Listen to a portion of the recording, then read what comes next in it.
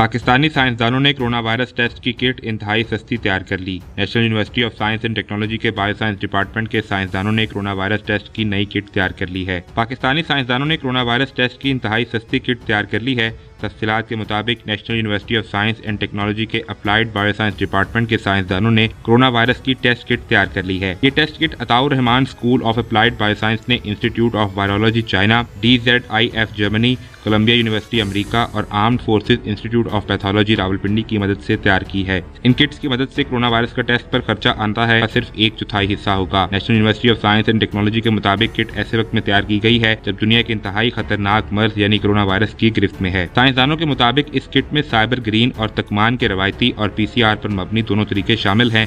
انہوں نے مزید کہا کہ لیبارٹری کنٹرول اور مریضوں کے نمونوں پر ٹیسٹنگ کٹس کا مؤثر انداز میں کامیاب تجربہ کر لیا گیا ہے۔ انہوں نے بتایا کہ جلد ہی کٹس درامد شدہ کٹس کی نسبت ایک چوتھائی قیمت پر دستیاب ہوں گی۔ دوسری جانب، چینی کمپنی نے پندرہ منٹ میں کرونا وائرس ٹیسٹ کا نتیجہ بنانے والی نئی ٹیسٹ کٹ بھی تیار کر لی ہے۔ چین میں ہیفی نامی کمپنی نے شوگر ٹیسٹ اسٹرپس جیسی اسٹرپس تیار کی ہیں جو کہ کرونا وائرس ٹیسٹ کے لیے استعمال ہوں گی۔